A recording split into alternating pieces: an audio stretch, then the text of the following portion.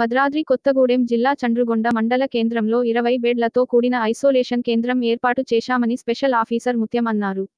ఈ సందర్భంగా ఆయన మాట్లాడుతూ జిల్లా కలెక్టర్ ఆదేశాల మేరకు ఏర్పాటు చేయడం జరిగిందని మండలంలో మొత్తం రెండు వందల పదకొండు యాక్టివ్ కేసులు ఉన్నాయని హోమ్ ఐసోలేషన్లో ఉండకుండా విచ్చలవిడిగా తిరిగే వారిని సౌకర్యం లేని వారిని ఇందులో ఉంచడం జరుగుతుందని అన్నారు.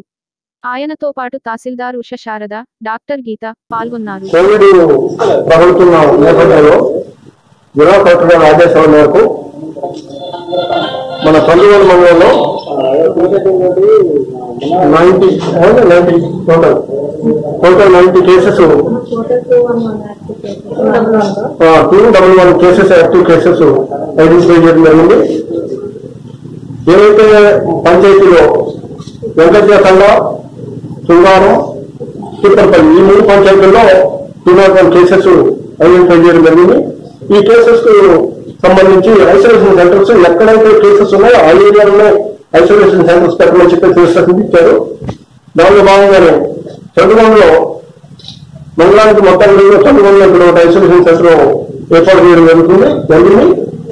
దీంట్లో ఇరవై బెడ్తో ఒక ఐసోలేషన్ సెంటర్ పెట్టడం జరిగింది దీనికి సంబంధించిన లాజిస్టిక్స్ అన్ని కూడా వెరిఫై చేసాం అన్ని బాగానే ఉన్నాయి ఏం లేకపోతే తహసీల్దార్ గారు ఈ రోజు సాయంత్రం వరకు మిగతా కూడా ఫుడ్ అరేంజ్మెంట్స్ అవన్నీ తహసీల్దార్ గారు చూసుకుంటారు.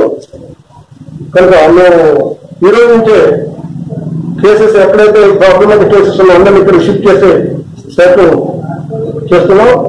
ఏం లేదు అయితే ఐసోలేషన్ ఫెసిలిటీ ఏం విలేజెస్ కుటుంబాలు ఉన్నాయి.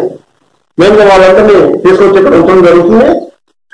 దానికోసం మేము మిగతా పంచాయతీలు కూడా సందర్శన ఏర్పాటు చేస్తున్నాం. మిగతా పంచాయతీలు కూడా మేము సర్పంచులను వార్డు మెంబర్లు అందరినీ